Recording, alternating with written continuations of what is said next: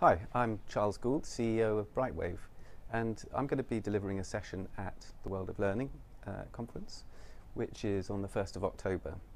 And I'm going to be talking about uh, how we can harness the power of informal learning using technology. Now, uh, the truth is that most of the way that we use technology for learning is still in the form of a course, a relatively formal way of delivering information. Um, and yet, there are so many technologies that have emerged over the last few years that allow us to do things quite differently. And these are technologies we use outside work all of the time. So just think of your smartphone in your pocket, think of the way that you can get instant access to freely available content immediately, and of course think about how we use social media all of the time.